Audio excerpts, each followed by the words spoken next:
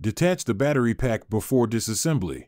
Rotate the trimmer head to align the slot in the inner flange with the shaft locking hole in the gear case. Insert the provided hex key into the aligned hole to act as a stabilizer. Rotate the trimmer head clockwise according to the rotation direction marked on the upper cover until it can be removed from the shaft.